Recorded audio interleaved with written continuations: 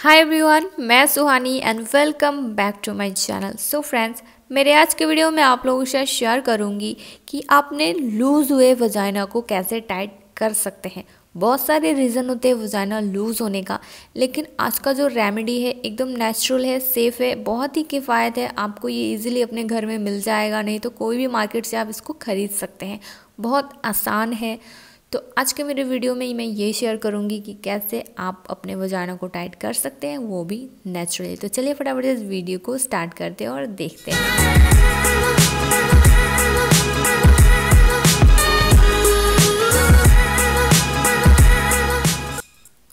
तो जो प्रोडक्ट है, यानी इंग्रेडिएंट है जो आपके वजाइना को टाइट करने में हेल्प करेगा, वो है फिटकिरी, यानी आलम। इसको हिंदी में आलम बोलते हैं या फिर मतलब इंग्लिश में आलूम और हिंदी में इसको फिटकरी बोलते हैं। जो बहुत सारे स्किन हो या कोई बीमारी हो या बहुत कुछ में ये काम आता है, एक आयुर्वेदिक औषधि की तरह इसको यूज़ किया जाता है। तो इसमें जो है भर भर के पोटेशियम होता है। और जब आप कोई वजाइना जेल लगाते हो अपने वजाइना को टाइट करने के लिए तो उसमें जो है पोटेशियम होने के कारण ही आपके वजाइना जो है टाइट होते हैं। तो इसमें भर भर के पोटेशियम होता है, जिससे आपको बहुत ज़्यादा मदद होता है आपके वजाना को टाइटन होने के लिए। तो मैंने जो आपको दिखाया क्वांटिटी, आपको उतना ही लेना है चम्मच में। और आपको एक मग पानी में इसको मिक्स कर लेना है। गुनगुना पानी लेने का आपको ज़रूरत नहीं है। आप ठंडे पानी में भी इसको मिक्स कर सकते हैं। उतना ही अमाउंट मैंने जितना आपको चम्मच में दिया, दिखाया, उतना अमाउंट आपको एक मग पानी में, एक जार नहीं, एक मग का पानी में आपको भरना है, यानी दो ग्लास पानी में, और मिक्स कर लेना है।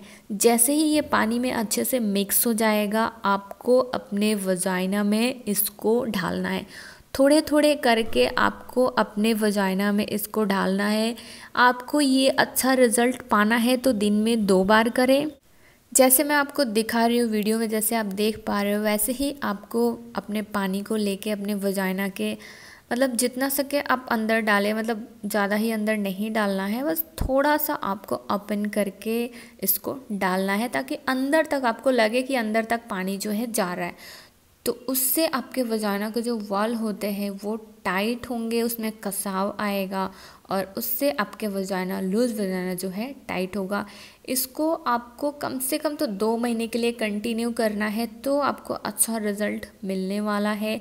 दो हफ़्ते से आपको फ़र्क दिखना स्टार्ट हो जाएगा। याद रखना, दो हफ़्ते से आपको फ़र्क स्टार्ट हो जाएगा दिखना और कंटिन्यू आप दो से तीन महीने करोगे तो आपको बहुत अच्छा वाला रिज़ल्ट मिलेगा। तो ये थे मेरे आज का वीडियो।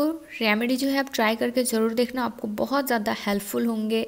तो अगर वीडियो अच्छा लगा तो इस वीडियो को एक लाइक कर देना चैनल को सब्सक्राइब और बेल बटन को भी हिट कर देना ऐसे ही अच्छे अच्छे वीडियोस देखने के लिए। और हाँ चैनल को सब्सक्राइब करते हुए ज़रूर जाना। मिलती हूँ मैं बहुत ही जल्दी एक अच्छी वीडियो के साथ। तब तक के लिए बाय